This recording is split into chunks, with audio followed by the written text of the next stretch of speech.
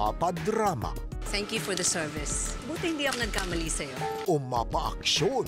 Unti-unti siyang nagpapakilala Hoy! Babaeng pigsa na katawan ng giraffe na ulo ng cashier. sa patawa o kantahan maasahan. Sabi nga nila, friendship knows no gender, ha? Makakulitan natin ang magkaibigan sina E.A. Guzman at Donita Knows. Kita-kits po sa Tonight with Arnold Clavio. Yeah, this Wednesday, 10.15 ng gabi sa GMA News TV.